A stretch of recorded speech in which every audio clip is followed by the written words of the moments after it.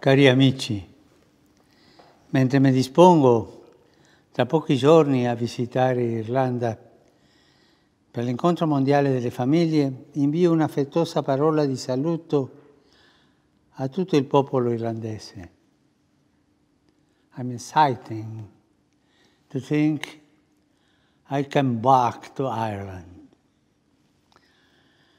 Come sapete, l'incontro mondiale è una celebrazione della bellezza del piano di Dio per la famiglia. È anche un'occasione per famiglie provenienti da ogni parte del mondo di incontrarsi e sostenersi a vicenda nel vivere la loro speciale vocazione. Le famiglie oggi affrontano molte sfide nei loro sforzi per incarnare un amore fedele, per crescere figli con valori sani e per essere nella più ampia comunità lievito di bontà, amore e di cura reciproca. Voi lo sapete tutto questo. Spero che questa occasione potrà essere fonte di rinnovato incoraggiamento per le famiglie di ogni parte del mondo, specialmente di quelle famiglie che saranno lì presenti a Dublino. Possa essa ricordarci il posto essenziale della famiglia nella vita della società e nell'edificazione di un futuro migliore per i giovani. I giovani sono il futuro.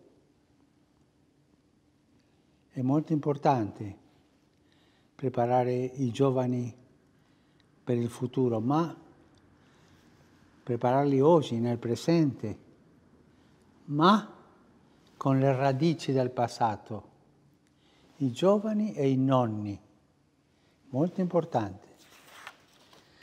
Sebbene la ragione specifica per la mia visita in Irlanda sia l'incontro mondiale delle famiglie, vorrei che essa abbracciasse tutti i membri della famiglia irlandese. Prego in particolare perché serva a far crescere l'unità e la riconciliazione tra tutti i fedeli di Cristo come segno di quella durevole pace che è il sogno di Dio per l'intera famiglia umana. So che molte persone si stanno attivamente impegnando nella preparazione della mia visita. A tutti ringrazio cordialmente. Chiedo a ciascuno di pregare affinché questo incontro sia un momento di gioia e anche di serenità, una carezza del tenero amore di Gesù per tutte le famiglie e in verità per ogni figlio di Dio. Vi assicuro la mia vicinanza, la mia preghiera e vi invito a pregare per me, ho bisogno. E di cuore vi do la mia benedizione. God bless you all, the Father, the Son, and the Holy Spirit.